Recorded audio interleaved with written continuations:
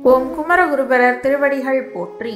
துறையூர் ஸ்ரீ அகத்தியர் சன்மார்க்க சங்கத்தின் சார்பாக இருபத்தி நான்கு இரண்டு இரண்டாயிரத்தி இருபத்தி நான்கு சனிக்கிழமையன்று பௌர்ணமியை முன்னிட்டு ஞானிகளை பூஜித்த அரங்கரின் அருப்பிரசாதமான சாதம் மற்றும் ரசம் ஆகியவை கட்னாம்பட்டி மார்க்கண்டேயர் கோவிலிலும் கீரிப்பட்டியிலும் சுமார் இருநூத்தி எண்பது நபர்களுக்கு சிறப்பான முறையில் வழங்கப்பட்டது.